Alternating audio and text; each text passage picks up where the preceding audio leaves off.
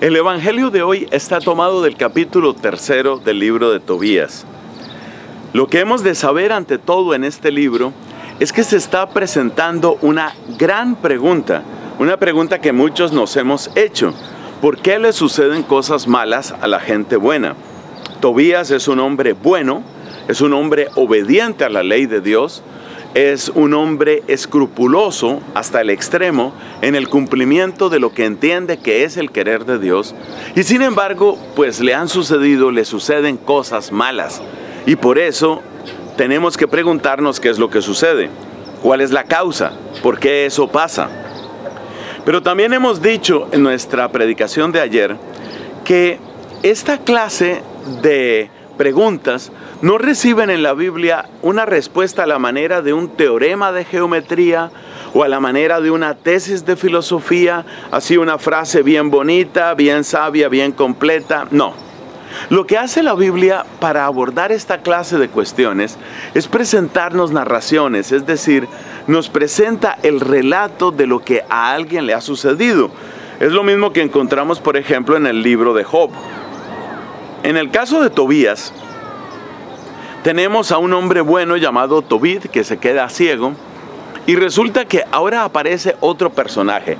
Ese otro personaje es una mujer llamada Sara que tiene un tipo completamente diferente de desgracia. El problema de Tobit podríamos decir que es causa de un accidente eh, y por eso se quedó ciego. El problema de Sara es, eh, es por causa del acoso, es por causa del daño que el espíritu del mal quiere causarle a esta mujer. O sea que se trata de dos males muy diferentes. Uno es un mal físico, el otro es un mal afectivo. El mal físico lo podemos relacionar con un accidente y el mal afectivo, en el caso de Sara, el texto bíblico lo relaciona con el acoso, con el ataque del demonio. Son dos males muy distintos, son dos males muy diferentes y sin embargo la solución de ambos males está conectada. Y a mí esto me parece muy interesante porque me hace acordar de una frase muy bella que Dios le dice a Santa Catalina de Siena. En alguna oportunidad Dios le dice a Catalina, yo a ustedes, los seres humanos, yo a ustedes los hice incompletos. Cada uno es incompleto porque de esa manera ustedes aprenden a necesitarse y aprenden a colaborarse unos con otros. A mí me gusta esa idea de que nosotros los seres humanos estamos incompletos en el sentido de que una parte de lo que va a responder a mi vida no está en mí. Ninguno de nosotros es autosuficiente. Si uno se queda mirando la historia de Sara, uno se da cuenta que en la historia de Sara no había una respuesta posible. De hecho, ella había intentado todo. Ella trataba de formar un hogar, ella quería tener un esposo, pero había fracasado muchas veces. Ya se habían muerto siete. Y por esa razón, pues el problema de Sara no tenía solución. La ceguera de Tobit no tenía solución. Si nos quedamos simplemente atendiendo al problema de Tobit, nos damos cuenta que eso no tenía ninguna solución. Entonces, lo maravilloso, lo realmente bello de esto es darnos cuenta que de un modo que nosotros no podíamos imaginar, el problema de Sara y el problema de Tobid tenían una cierta conexión y en esa cierta conexión es donde aparece un arcángel llamado Rafael. Rafael va a ser como el enlace entre la solución para Tobid y la solución para Sara. El hecho de que se trate de un arcángel nos está haciendo ver que definitivamente hace falta un toque de cielo para comprender muchas cosas de esta tierra.